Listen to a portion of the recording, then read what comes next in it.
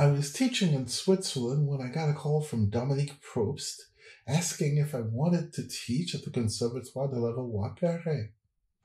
I said yes, called, and an interview was set up with the director, Monsieur Rothenbuhler. It started with him asking me when I taught vibrato.